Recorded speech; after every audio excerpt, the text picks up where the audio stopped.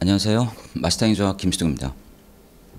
강의를 시작하기 전에 그 공무원의 공부 방법이라든가 또 행정학 방법, 공부 방법 이런 것도 얘기하고 그리고 또 저에 대한 약간의 소개도 하고 뭐 그런 시간을 가졌으면 합니다. 그래서 일단 저는 그 학부에서 학부에서 행정학 학사 학위를 받았죠. 행정학 학사를 했고요. 그리고 또 행정의 주요 분야 중에 하나인 정책학이 있었는데 학부 때 좀 정책학이 또 마음에 들어서 석사 때는 약간 전공을 약간 바꿔서 정책학 아, 석사를 했습니다.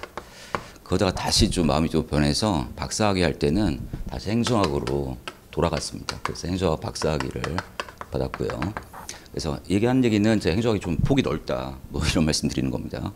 아무튼 학부 때부터 석사 박사학위 한 가지 길로 계속 갔기 때문에 행정학은 그 누구보다도 더 가장 정교하게 알고 있고요. 가장 폭넓게 알고 있고 이렇게 생각하고 있습니다. 그리고 또 우리 수험생 위한 강의를 아 제가 한 30년은 좀 안 됐고요. 그건 너무 심하고요. 한 20, 한 4, 5년 된 것 같아요.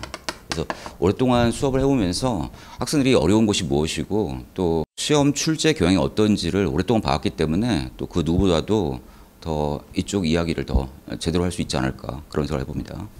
아무튼 제 소개는 뭐 이 정도로 약하고 하나 얘기할 게 뭐냐면 우리 저한테 이런 질문을 많이 해요. 공부 방법 이런 얘기를 되게 많이 해요.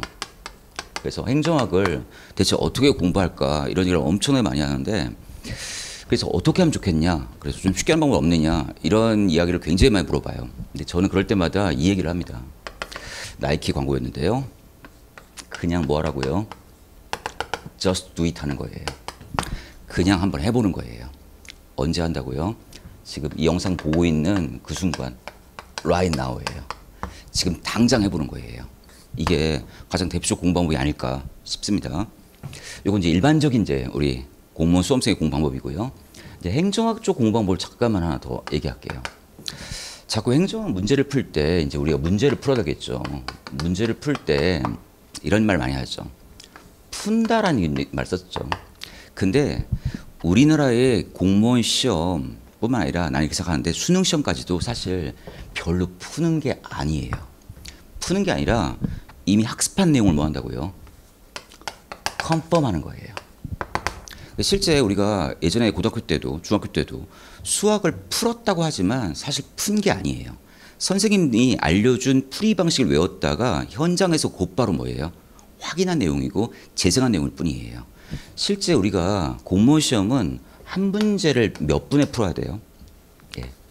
1분에 풀어야 돼요. 1분 동안에 문제를 확인하고 해석하고 풀이까지 한다? 이건 거의 불가능해요. 그래서 이미 알던 내용을 확인하는 정도다라는 겁니다. 그래서 공 방법도 결국 뭐냐면 결국 이거예요. 기본서를 학습하고 이걸 이제 이해해보고 또 뭐까지 암기까지 해보고 곧바로 뭐로 연장시킬까? 바로 문제풀이로 곧바로 연장을 시키는 방법을 써야 돼요. 그래서 항상 이런 식이에요. 기본서 보고 문제 보고 다시 문제 보고 기본서 보고 이걸 수차례 반복하는 거예요. 그러면 아마 익숙해지실 거고 유사 문제 나왔을 때 곧바로 반응할 수 있을 거예요. 그래서 행정학이 다른 과목보다 공부해야 할 시간과 양이 엄청나게 많아요. 그런데 장점이 있어요. 실제 현장에서 문제풀이 할 때 보시면 현장에서 보통 20문제니까 20분에 풀어야 되겠죠. 근데 실제로 행정학은 실제 문제풀이 시간이 짧아요. 실제로 한 12분 정도에 끊어줄 수 있는 뭐 그런 과목이 아닐까 싶어요. 남는 8분은 이제 뭐예요? 뭐 국어나 영어에 아마 사용할 수 있지 않을까 이런 생각을 해본단 말입니다. 다시 해볼게요. 어떻게 한다고요? 그냥 한번 해보는 거예요. just do it 하시고요. 언제 하시라고요? 지금 당장 하시는 거예요. 그리고 잊지 마세요. 푸는 게 아니라 이해하고 암기한 내용을 뭐 한다고요? 확인하기 위한 걸 하는 겁니다. 그리고 실전 공부할 때 어떻게 한다고요? 기본서를 암기한 다음에 문제풀이하고 활용해 봐야 되겠죠. 문제풀이한 내용을 기본서에서 확인해 보고 다시 확인해 보고 다시 확인해 보고 이런 바로 피드백이 필요하지 않느냐 이런 생각이 듭니다. 아시겠죠? 이게 수험생으로서의 자세이기도 하고요. 행정학 공부하는 자세이기도 할 것이다 라는 생각을 해보고 싶고요.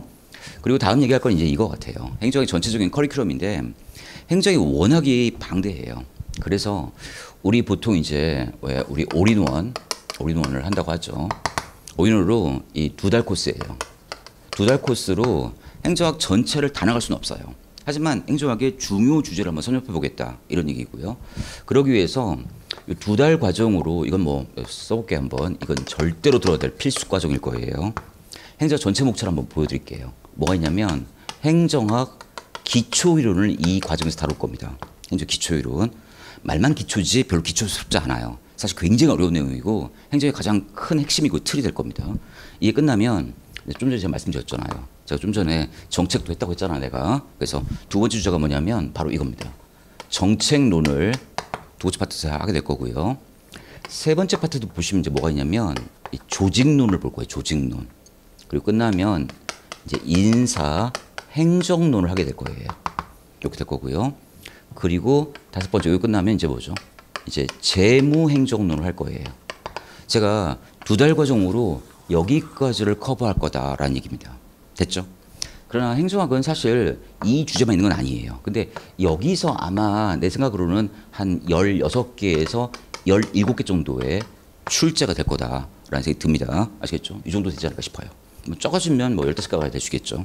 15, 16, 17을 잡아볼 거고 그리고 또 다른 이제 두 달 과정이 또 있죠. 두 달 과정으로 이제 별도 테마 강의를 이제 할 건데 그 다음 이제 여섯 번째, 일곱 번째, 여덟 번째, 아홉 번째로 한번 별도로 나눠보려고 그래요. 그래서 이쪽에는 뭐가 있냐면 행정 환류론이 있어요. 환류론에는 뭐 두 파트가 있는데 행정 책임론과 행정 통제론 하게 될 거고요. 그 다음 여기 끝나면 뭐 할까? 이제 행정 개혁론에 대한 얘기를 할 거예요. 이 개혁론에는 사실 여기서 배운 내용들에 대한 개혁 작업들이 여기도 다뤄주고 있습니다. 그리고 사실 이 두 달 과정에서 두 달 과정에서 가장 핵심은 사실 8번이에요. 이게 뭐냐면 바로 지방행정이라는 겁니다. 지방행정은 대학에서도 행정학과에서도 사실 별도의 특수행정이기 때문에 별도 과정을 다루고 있습니다. 그래서 사실 이 두 번째 과정의 핵심은 사실 8번 지방행정이 있을 것 같고요. 요 끝난 다음에 이제 아홉 번째인데 아홉 번째는 이제 이런 데서 다루지 못했던 좀 심화라 하기도 하는데 사실 말은 심화라 했지만 심화라기보다는 사실 뭐예요? 여기서 다루지 못했던 것에 대한 뭘까요? 추가 내용이 더, 더 많지 않을까 싶어요.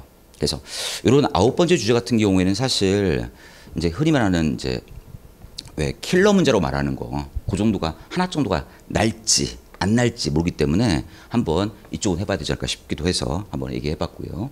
그래서 보통은 요 과정에서 보통 몇 문제가 나냐면 한 세 문제 정도. 요 문제가 한 문제 정도. 그래서 요 네 개, 그리고 아까 처음 얘기했던 뭐예요? 16개 정도. 그래서 총 이제 20문제가 이렇게 나, 날 거다라는 생각을 해봅니다. 근데 요 과정도 뭐라고요? 전체 행정학이 큰 틀이기 때문에 이것도 이제 필수 과정이 되겠다라는 생각이 들 겁니다. 이 과정을 완료했다면 이제 세 번째로 우리 뭘, 뭘로 가야 될까? 곧바로 문풀로 가야 될 거예요. 문제풀이. 뭐 문제풀이는 뭐 아시다시피 뭐가 있을까? 뭐 기출에 대한 것도 확인해 보고요. 또 실제 예상 문제에 대한 것도 확인해 볼 거예요. 근데 사실 이 과정을 가지려면 이걸 다시 한번 환류하는 과정이 필요할 거고요. 또 그런 과정에 대한 시간이 많이 걸린다면 또 뭐가 있을까? 행정학을 좀 뭐 한다고요? 좀 요약한 요약집을 통해서 문풀에 좀 도움을 주는 방식도 한번 해보려고 하고 싶고요. 하나 더 한다면 뭐가 있을까? 행정학 도는 게 많아요. 이론도 중요한데 이런 이론 이론을 기반으로 만들어진 법률이 중요해요. 그래서 법률 또 뭐 대통령 뭐 이런 거 우리 보통 시행령이라 말하는 거예요. 이런 것들을 합치면 뭐가 있을까? 법령에 대한 특강까지도 해야 되지 않을까 싶습니다. 그래서 사실 뭐 문풀은 뭐 아시다시피 확실한 필수로 보일 것 같고요. 행정 요약도 뭐 필수로 보이는데 어차피 뭐예요? 이 과정에 대한 요약이기 때문에 뭐 편안하게 접근할 수 있을 것 같고요. 근데 법령 특강을 이걸 제가 자주 하질 못해요. 1년에 한 번 정도 하는데 뭐 동영상이라면 언제든 반드시 수강이 되지 않을까 싶어요. 별도의 자료를 가지고 어, 법령에 대한 것들을 나눠주지 않을까 싶고요. 이것들은 이제 이것도 이제 필수로 보입니다. 뭐 이런 과정일 것 같아요. 그리고 나서 뭐예요? 이걸 통해서 뭐 한다고요? 이제 최종 이제 문풀을 보는 뭐 이런 과정이 전체 큰 커리큘럼이 아닐까 싶어요. 근데 제가 강의를 해보면 느끼는 건데 이 정도 듣다가 힘들어서 나가 떨어지고 이 과정을 못 가요. 정말 중요한 내용인데 이 과정을 못 가고 있고요. 이걸 들었다 하더라도 문풀 들어가면 또 좌절하기 시작해요. 그럼 빠른 스피드로 행정 요약을 통해서 확인해 보든가 아니, 아니면 두 달, 두 달, 이 넉 달 과정을 다시 한번 또 빠른 스피드로 뭐예요? 환류해 보든가 그런 적이 필요할 거예요. 그러면서 이제 마지막 법령 특강이 나온다면 뭐예요? 우리가 모호했던 그런 이론에 대한 실제 법 체계를 알 수 있기 때문에 행정학 개념이 훨씬 더 구체화될 겁니다. 그러니까 이런 전체 과정을 하는데 아, 좋게 몇 개월 좀 걸릴까? 음, 8개월에서 한 10개월 정도 요즘 걸리지 않을까 싶어요. 이 정도의 완결 짓는다면 가장 아마 이상적이지 않을까 싶어요. 그래서 처음부터 모든 걸 한 방에 한 달, 두 달에 끝난다는 것보다는 한 8개월, 10개월 두면서 나간다면 합격이 가깝지 않을까 생각이 든단 말입니다. 오히려 천천히 나가는 게 더 빠를 수 있을 거예요. 자꾸 수험생 중에 한 주에 끝내보려고 하는데 그럴 만한 과목이 절대 안 되는 거죠.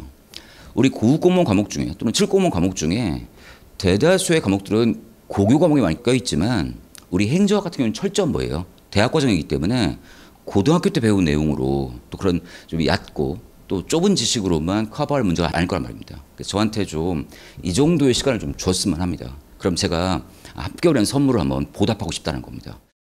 우리 영어를 지금까지 거의 뭐 여러분 나이를 잘 모르겠지만 한 15년, 20년 이렇게 공부를 해왔어요. 그죠?